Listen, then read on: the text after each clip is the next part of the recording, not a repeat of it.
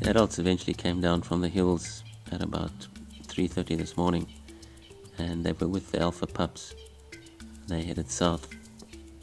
And then, not far from the den, adults suddenly took off after something and we tried to stay with them.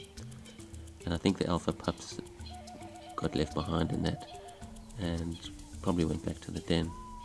We followed up and lost the other adults but found the alpha female having just pulled down an adult female impala all on her own.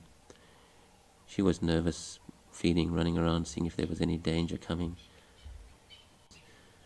And at the same time, shortly after we got there, a black rhino came through the area and he seemed rather concerned and not knowing what was going on and what was there, running to and fro, and then eventually he took off.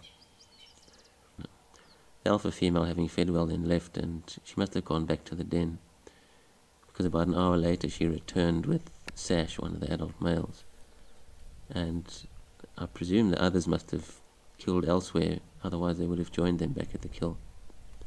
Anyway, the two fed and then they disappeared, and none of the others came back to the carcass.